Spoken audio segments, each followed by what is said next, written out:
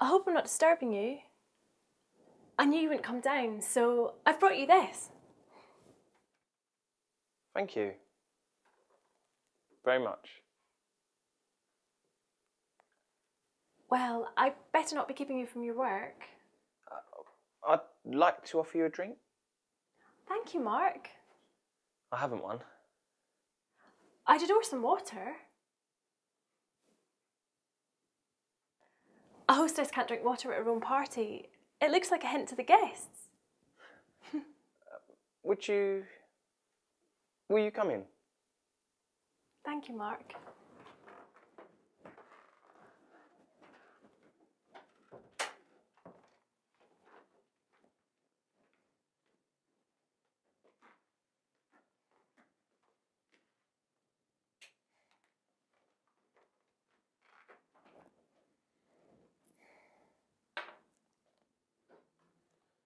There's orange juice if you'd like some.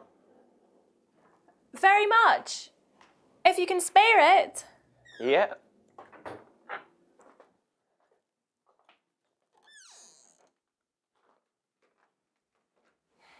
Thank you, Mark.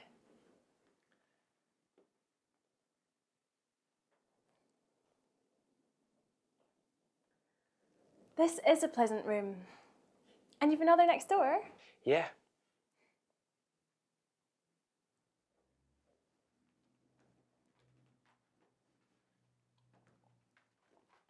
How long have you lived here? All my life. I was born in this house. Oh, It's my father's.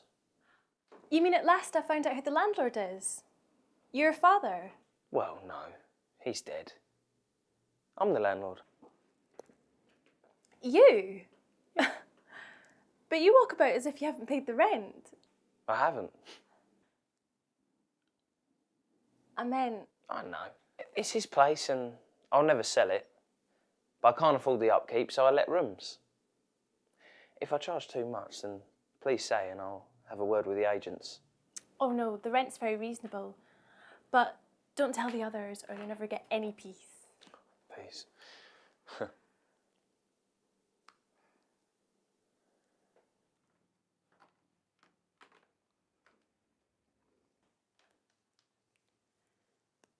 Mark, what do you do? I work in the studios most days. On the photographic side, I'll bet. I hope to be a film director very soon. How exciting. I have some spare time jobs as well.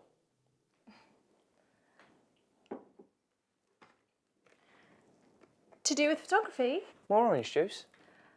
No, thank you. To do with photography? Yeah, to uh, to do with photography.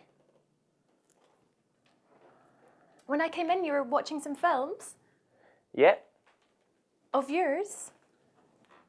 yeah.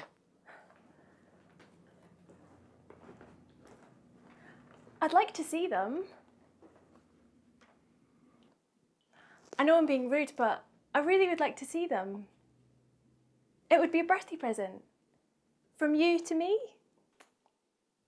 Would it?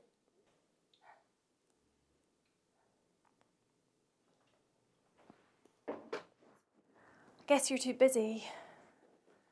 Would you? Would you like to watch one now? Thank you, Mark.